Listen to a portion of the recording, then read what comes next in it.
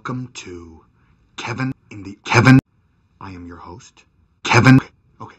So sometimes my Stacy, she forgets to pack me. Kevin, what do I do? I have to cook things in the Kevin, and trust me, it is not as bad as it. Hey, What? I'm doing my cooking show thingy. And I'm going to the bathroom. Okay, so this is our main cooking area. We have a toaster and a microwave. We used to have a blender as well, but we're pretty sure that Kevin stole it. And hey, Stanley, What am I supposed to do? you're supposed to wait until I'm Kevin. I don't think so. Did you wash your hands, Stanley?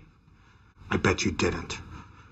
Okay, we will gather ingredients at the vending machines, or as I like to call them, the supermarket that only takes quarters.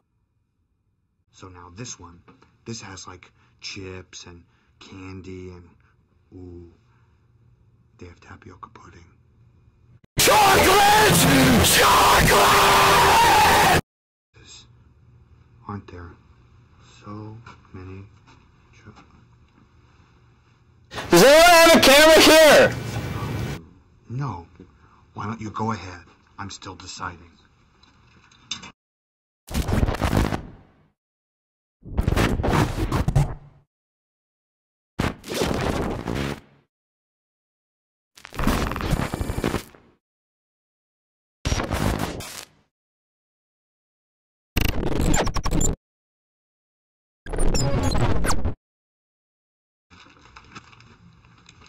Chips and a Newton, huh?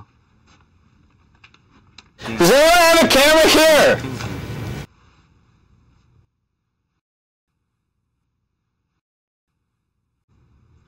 Does anyone have a camera here? Yeah, cool. But chips are Kevin too. Very Kevin. Okay, I'm going to make quesadillas and creme brulee. First, for the quesadillas, all you need is chips and squeezy cheese. This I usually I keep in my squeezy cheese so nobody steals it it's very important that you get a lot of cheese on there. You can make designs if you wish, circles, flowers, and then you take another chip and quesadilla a la Kevin. Take the plate and you put it in the microwave for 10 to 15 Kevin. And take them out when they look. Kevin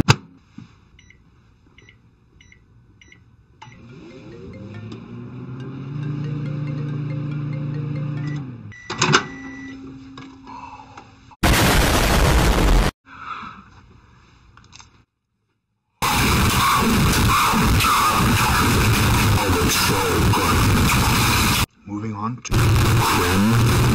All you need is pudding and some sugar that you need to pour over the top.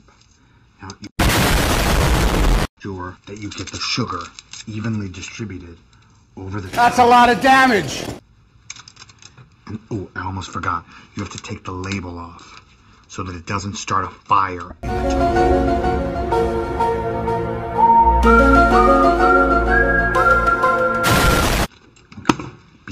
Careful, you put it in, you leave it until it gets nice and brown all over the top because that is when it's squeezy cheese. Okay, so we're just going to leave that for a few minutes and when we come back, we'll have beautiful. Another thing that I make for myself at the office, squeezy cheese. The rules specifically say that you cannot bring squeezy cheese into work, but it says nothing about making squeezy cheese at work. Genius, huh? That's disgusting. Put that away. You're just jealous of my squeezy cheese. Ever bacteria filled yeast water? I don't think so. Well, then, Oscar, you may not have any. I don't want any. Something burning.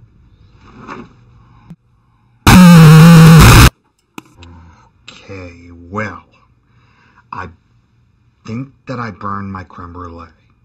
but that happens. I will just make it again later. No problem. So I will see you next time on Kevin in the. Kevin, where I will show you how to use Kevin even yummier.